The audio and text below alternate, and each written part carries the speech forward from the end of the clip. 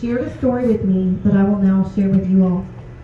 When Chris was in school, he struggled very much, and Crystal called Autism Tennessee's helpline for support.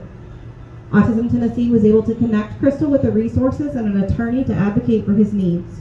Crystal credits that phone call to our helpline and those supports with changing the trajectory of Chris's life, allowing him to eventually graduate high school and attend college.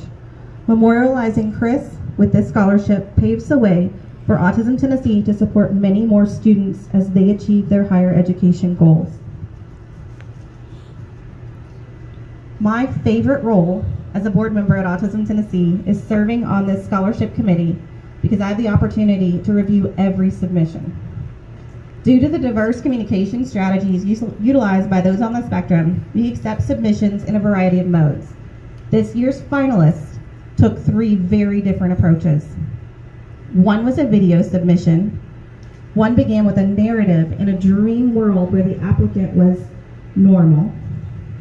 And the other one shared his hopes and dreams.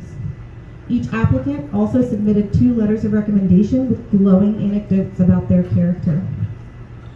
Autism Tennessee believes that there are many teens and adults on the autism spectrum who demonstrate kindness and work tirelessly to fight bullying and encourage developing friendships.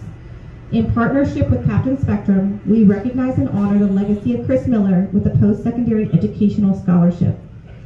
This year's $1,000 scholarship will be awarded to Evan Jennings, and the two additional finalists, Seth Collins and Kyle Davis, will receive $250 towards their education as well.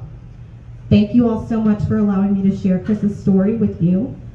And now I'm welcoming Kathleen to the stage. She is a novice auctioneer, but I'm sure she's going to nail it um, for the live auction part of this event.